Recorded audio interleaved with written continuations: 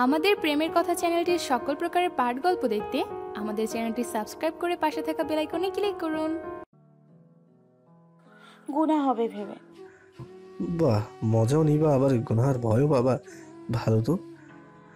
আচ্ছা এখন রুমে চলো। চোখের পানি মুছে বলে ইফতিয়া আর সময় নেই রুমে যাওয়ার ভোর হয়ে আসছে। আমাকে যেতে হবে এখন। অন্যদিকে তাকিয়ে বলে নাহিয়ান এখনই? তো কখন? আর একটু পর। আমি আরও অনেকক্ষণ থাকতাম। শুধু তুমি আমার মুডটা নষ্ট করে দিয়েছ। আমি আরও অনেকক্ষণই থাকতাম। শুধু তুমি আমার মুডটা নষ্ট করে দিয়েছ বলেই তো। Sorry sorry is my left foot প্রচণ্ড রেগে বলল নাহিয়ান। আর হবে না তো কখনো। হতে হবে না যাও ঘুমাও। ফার্স্ট টাইম ছিল তাই তো। যাও ঘুমাও। তুমি চলে গেলে আমার ঘুম আসবে না। নাহিন আর কিছু না বলে যাওয়ার জন্য পা বাড়ালো। ইফতিয়ার কি হলো সে নিজেও বুঝলো না। ও আচমকাই ছুটে গিয়ে পেছন থেকে নাহিয়ানকে জড়িয়ে ধরলো। শিউরে উঠে নাহিয়ান। পরক্ষণে আমার নিজেকে সামলে নিয়ে বলে এখন গোনা হচ্ছে না? হুম। তো? সরি ফরওয়ার্ড আর হবে না কখনো। স্ট্রেঞ্জ কি হবে না? কাঁদবো না। যত খুশি কাঁদো যা খুশি করো। এখন আমাকে যেতে দাও। আচ্ছা আবার করো। আর কাঁদবো না প্রমিস আর জীবনও করব না তোমার গুণা হবে। জেনে শুনে কাউকে আমি গুণা করতে দিতে পারি না। বিরক্তি নিয়ে বলে নাহিয়ান আরে তাহলে রাগ করছ কেন? রাগ করিনি আমি যাও। তাহলে পাপ্পি দাও। গুণা হবে তোমার। ইফতিয়ার ছেড়ে দিল নাহিয়ানকে। নাহিয়ান রেলিং বেয়ে কিছুটা নিচে নেমে গাছ থেকে লাফ দিল। কিন্তু অন্ধকারে গাছের অবয়বকে গাছ ভাবায় গাছটা ধরতে পারল না। গাছের সাথে ঘেঁষে নিচে পড়ে গেল। ইফতিয়া আতঙ্কে চেঁচিয়ে উঠে।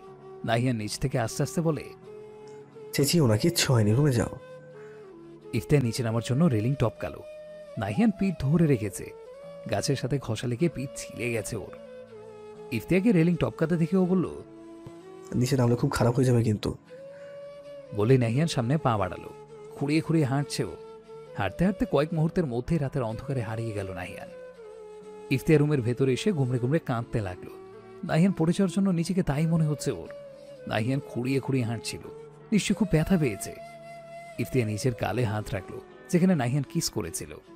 কিছুক্ষণ চুপচাপ বসে থেকে নাহিয়ানকে কল দিল। কল রিসিভ হচ্ছে না। ও অনেকক্ষণ যাবৎ কল দিতেই থাকল। নাহিয়ান ফোনটা কিছুতেই রিসিভ করছে না। ইফতিয়া বুঝে উঠতে পারছেন ওর কি করা উচিত।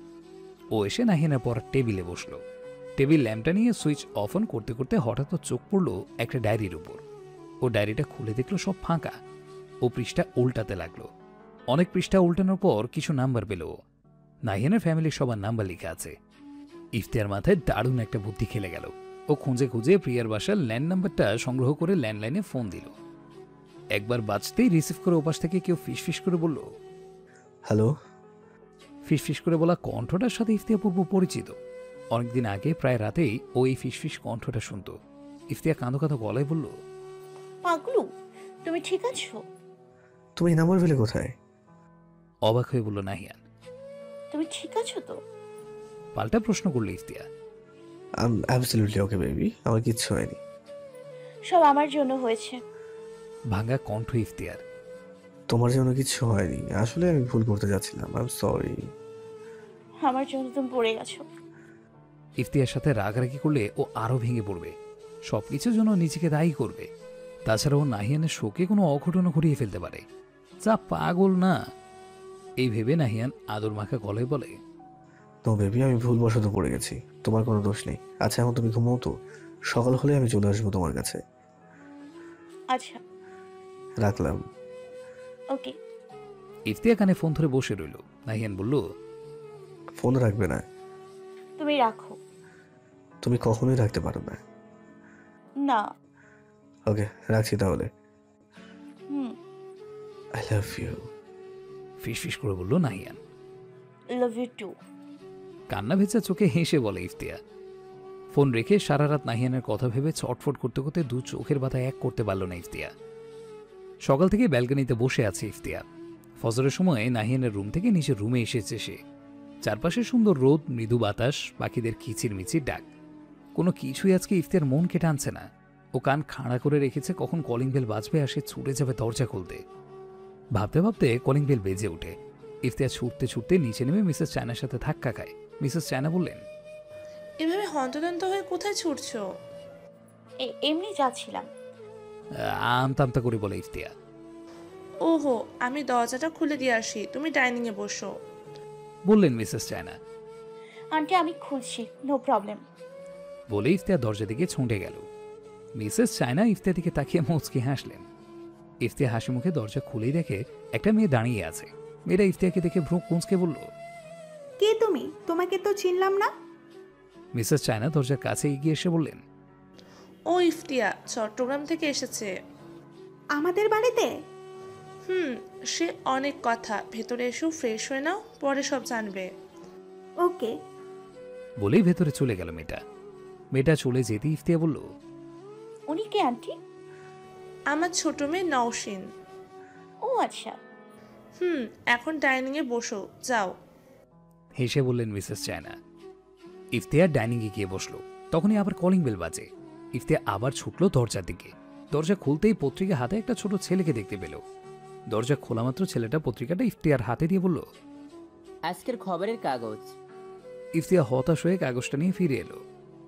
সবাই ডাইনিংয়ে এসে বসেছে। নসীন এসে ইফতিয়াকে বলল নাম কি তোমার? নভিহা ইফতিয়া। ও আমি নওশিন এই বাড়ির ছোট মেয়ে। হেসে বলল নসীন আচ্ছা উম, আপনি তো ডক্টর তাই না? হুম তুমি কি করে জানলে? ইফতিয়া সব জানতার ভান করে হাসলো। তখনই আবার কলিং বেলের শব্দ পেল ইফতিয়া ও তাড়াহুড়া করে বলল দরজাটা খুলে দিয়ে আসি? তোমাকে কি দরজা খোলার দায়িত্ব দিয়েছে কেউ? হেসে বলল নসীন না এমনি।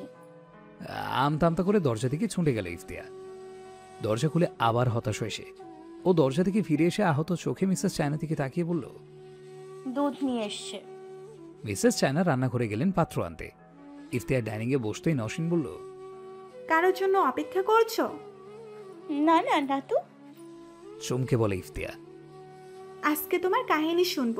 কীভাবে এলে তুমি এইখানে সেই কাহিনী আচ্ছা। সকাল দশটা বাজতে চলল। ইফতিয়া পিকনিক থেকে শুরু করে এখানে আসা পর্যন্ত সমস্ত ঘটনা নসীনকে খুলে বলে। নসীন অবাক হয়ে বলে তুমি তো বেশ সাহসী। আবিরের হাত থেকে পালিয়ে এলে কি করে? ভয় করেনি? ইফতিয়া হেসে বলে না আমি হলে নিশ্চয়ই ভয় পেতাম। আমি দেখতে মেয়েদের মতো। সাহসটা ছেলেদের চেয়ে কম না। হেসে বলল ইফতিয়া হুম তাই তো দেখছি। আচ্ছা তুমি তো এখানে আরও কয়েকদিন আছো তাই না? জি আজকে সহ আর তিন দিন আছি। ওকে আম্মু বলেছিল তোমার নাকি সময় একেবারেই কাটে না। তাই এই তিন দিন আমরা বিন্দাস ঘোরাঘুরি করব ওকে? ওকে। হেসে মাথা নেড়ে সায় দেয় ইফতিয়া ওরা দুজন আড্ডায় মেতে ওঠে।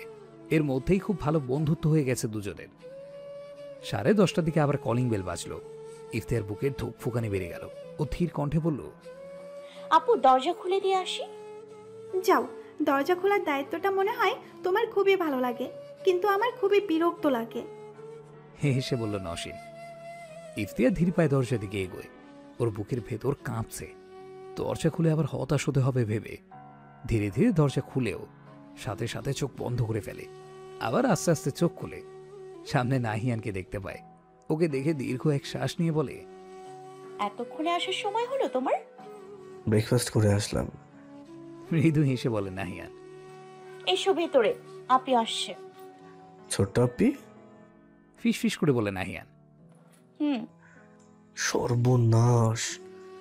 চোখ বড় করে বলল নাহিয়ান কেন? অবাক হয় ইফতিয়া তুমি এমন বিহেভ করবে যেন আমাকে চেনোই না।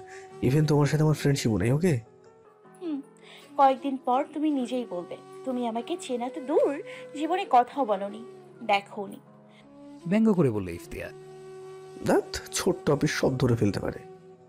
তো আমি কি করব? আমি এতক্ষণ ওনার সাথে আড্ডা দিচ্ছিলাম। কই আমার তো তেমন কিছু মনে হয়নি। আড্ডাটা আমার সাথে দাও তারপর বুঝবা। বলেই নাহিয়ান ভেতরে ঢুকলো। ওকে দেখে নসীন বলল এত সকালে কোথা থেকে আসছো? বড় আপির বাসায় থেকে। ও আচ্ছা তোমার জন্য চকলেট আর আইসক্রিম নিয়ে এসেছি। ফ্রিজে রাখা আছে। ওকে আমি ফ্রেশ হয়ে আসছি। নাহিয়ান উপরে চলে গেল। ইফতিয়া কিছুক্ষণ অন্যমনস্ক হয়ে নওশিনের সাথে আড্ডা মারলো। এরপর বলল আপু আমি একটু রুমে যাই? হুম তুমি গোসল সেরে নাও। আমিও একটু পরে যাব। বিকেলবেলা বেরোবো আমরা। আচ্ছা। ইফতিয়া তাড়াতাড়ি উপরে চলে গেল। গিয়ে সোজা নাহিয়ানের রুমে ঢুকলো? নাহিয়ান রুমে নেই। ইফতিয়া ব্যালকনি, বাথরুম সহ সব জায়গায় দেখল। কোথাও নাহিয়ান নেই। কোথায় যেতে পারে ভাবতে ভাবতেই নিজের রুমে ঢুকে দরজা আটকে ইফতিয়া দরজা থেকে সামনে ফিরে খাটে তাকিয়ে দেখে নাহিয়ান খোলাবায় বিছানায় শুয়ে আছে। উন্মুক্ত পিঠের মাঝখান বরাবর লম্বা ছিলে যাওয়ার দাগ। ইফতিয়া আঁতকে উঠে নাহিয়ানের পাশে বসে। আস্তে আস্তে হাত বুল এক স্থানে। নাহিয়ান চুপচাপ শুয়ে আছে। ইফতিয়া বলল I am so sorry Nahiyan ওর কথায় পাত্তা না দিয়ে ওর দিকে একটা মলম এগিয়ে দিয়ে বলল লাগিয়ে দাও। ইফতিয়া মলমটা হাতে নিল কিন্তু লাগালো না। ও আলতো করে হাত বুলিয়ে দেয় নাহিয়ানের পিঠে। নাহিয়ান শিউরে উঠে ইফতিয়া এবার সবচেয়ে ভয়ানক কাজটা করে বসে। ও আলতো করে চুমু খায় নাহিয়ানের পিঠে। নাহিয়ানের সারা শরীর কেঁপে উঠে ইফতিয়ার ঠোঁটের ছোঁয়ায়। ইফতিয়া আলতো হাতে মলম লাগাতে শুরু করে। নাহিয়ান বলে আর মলম লাগাতে হবে না। যা লাগিয়েছো তাতে ব্যথা কমে গেছে। ইফতিয়া লজ্জাবে মুচকি হাসলো। নাহিয়ান ওর দিকে ফিরে বলল একদম লজ্জা পাবেন আমার সামনে এটা আমার বিরক্তির কারণ। আচ্ছা যাও ফ্রেশ হয়ে নাও। আপনি চলে আসবে এখন। ওকে। বলেই নাহিয়ান টি শার্ট পরতে পরতে বেরিয়ে গেল। দরজা থেকে বেরিয়ে আবার উঁকি দিয়ে ফ্লাইং কিস ছুড়ে হেসে বেরিয়ে যায় ও। বিকেলে নসীন ইফতিয়ার রুমে এসে বলল চলো আমরা শপিংয়ে যাব। ওকে। ঝটপট পাঁচ মিনিটে রেডি হয়ে নাও। আমি নাহিয়ানকে বলে আসি। ও যাব। আই মিন উনিও যাবে উত্তেজনায় কাঁপছে ইফতিয়া তাও নিজেকে যথাসম্ভব স্বাভাবিক রেখেও বলে হুম ওই তো নিয়ে যাবে আমাদেরকে। আচ্ছা। নসীন বেরিয়ে গেল। ইফতিয়ার রেডি হয়ে নিল। রেডি হয়ে ইফতিয়ার রুম থেকে বেরিয়ে করিডোরে দাঁড়াল। কিছুক্ষণের মধ্যেই নাহিয়ানও বেরিয়ে ইফতিয়ার পাশে এসে দাঁড়াল। ব্যথা কমেছে? নাহিয়ানের দিকে তাকিয়ে বলল ইফতিয়া হুম মলমটা খুব কাজে দিয়েছে। পরের বার থেকে ব্যথা পেলে এই মলমটাই লাগাবো। দুষ্টু হেসে বলল নাহিয়ান ইফতিয়ার লজ্জা পেয়ে মুচকি হাসলো। নাহিয়ান ওকে আরও লজ্জা দিতে ওর কাছে মুখ নিয়ে এসে বলল গতকাল গাছের সাথে থাকা লাগে শুধু পিঠ না ঠোঁটও ছিলে গেছে। ঠোঁটও দাও না সুইট মলমটা। ইফতিয়ার চোখ বড় করে নাহিয়ানের দিকে তাকায় এবং মুহূর্তেই চোখ সরিয়ে নেয়। নাহিয়ান হাসে। নসীন সারের কুচি সামলাতে সামলাতে বেরিয়ে এলো। ওদের দুজনকে একসাথে দেখে বলল দুইজনেই এত তাড়াতাড়ি রেডি হয়ে গেছো? সবাই তো আর এক না সবাই তোমার মতো এত সাজে না। যাচ্ছে মার্কেটে অথচ পড়েছে শাড়ি। অন্যদিকে ফিরে বলল নাহিয়ান। নসীন ওর কথায় বার্তা না দিয়ে বলল চলো বেরোই। নসীন এবং ইফতিয়ার সামনাসামনি হাঁটা শুরু করে। নাহিয়ান ওদের পিছু পিছু আসছে। মার্কেটে ঢুকে নসীন শপিংয়ে ব্যস্ত হয়ে পড়ে। ইফতিয়া এবং নাহিয়ান ওর পিছু পিছু আসছে। নসীন গয়নার দোকানে ঢোকে। সাথে নাহিয়ান আর ইফতিয়াও।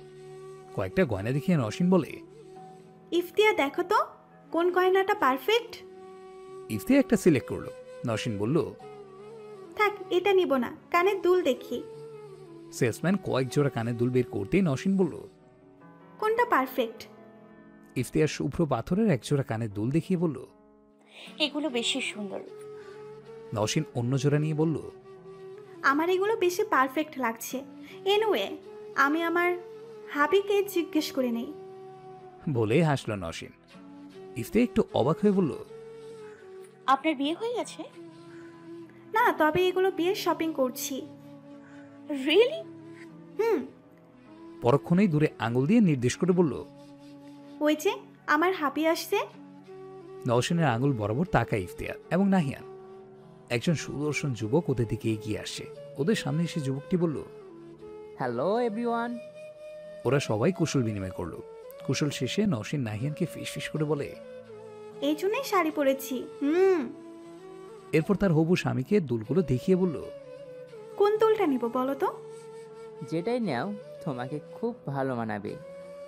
ইফতিয়া হাসলো মনে মনে বলল সব ছেলেদের একই ডায়লগ পাম্পটা ভালোই মারতে জানে। নাহিয়ান ইফতিয়ার কাছাকাছি এসে ফিস ফিসফিস করে বলল চল আমরা কেটে পড়ি। ইফতিয়া কিছু বলার আগেই নসীনকে টেনে নিয়ে আয়নার সামনে দাঁড় করালো। শুভ্র পাথরের দুলজোড়া ওর কানের সাথে লাগিয়ে বলল কেমন লাগছে? ইফতিয়া আয়নায় তাকালো। ওর চোখ আটকালো ওর পেছনে দাঁড়িয়ে থাকা নাহিয়ানের উপর।